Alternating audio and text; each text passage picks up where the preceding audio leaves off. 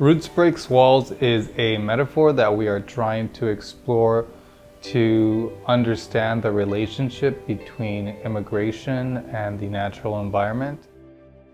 Uh, Roots Break Walls developed into a campaign, a series of events around these explorations. We had three and they focused on different themes that we've also carried like throughout the narrative. So uh, there's like the theme of interdependence with ourselves, with our communities, with nature. The mere idea of like going outside and like being aware of those surroundings, whether it be like the clouds look pretty or the sky or the air feels nice. I think those are just like small ways that we can um, start connecting with nature again. We got to kind of explore like the interconnection between nature and culture and us and roots. And just the way roots um, spread out and help plants grow. Uh, our families are the same way too, right? Um, leaving home and finding new homes for us to grow and prosper, whether it's with careers or like lifestyle. And I feel like a lot of us here in the Valley have experienced that some way or another through our parents or grandparents or relatives beforehand, or even us ourselves when we leave and come back. You know, we come back and replant ourselves in the Valley to keep our roots growing in our community. So the, the name Roots Break Walls actually is something that um, I've been thinking about probably for a couple of years, um, particularly when the border wall was being built around along the Mission Butterfly Center, around Santa Ana, um, and there was a threat of this border wall going up and um, this idea of uh, well, what can tear down a wall? What can break down these barriers that are set up to keep us away from nature? You know, we talk about re- about borders, and it's more like they don't really exist, but they uh, they are a convergence of like uh, where you go. And primarily, I want people to understand immigration as a natural part of the landscape.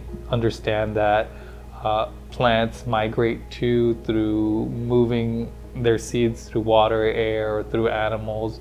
Um, the natural environment that we see around us has potential and, and has been moving for centuries, just like um, it, the environment that it feeds, right, that it sustains. That is roots breaking walls.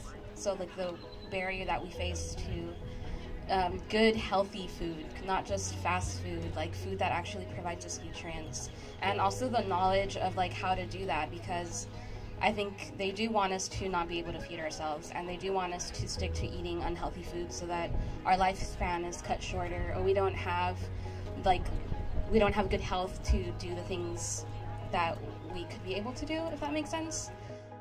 I hope that, um, especially with this last event, I hope that people see that the work and the conversations that we've been having, um, other people are having too.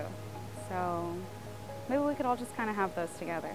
And also hopefully like just let our guard down and like let connections flow. But it'd be really cool to actually take on a project where we we are actually dependent on like each other's work. So maybe developing a garden together where we grow our own plants or where we do foster these these more uh, in-depth relationships because that's really what it's about is just developing these relationships that grew from um, the people that attended to, to continue actually put in place these conversations that we that we had. The thing that I hope for the most was really just like getting those stories out there and like letting people see like, hey, this is something that I can actually personally connect to. So. Right now it was more about uh, sowing those seeds right and, and tilling the soil so that maybe in the fall we can all actually see those fruits come to, to, to fruition.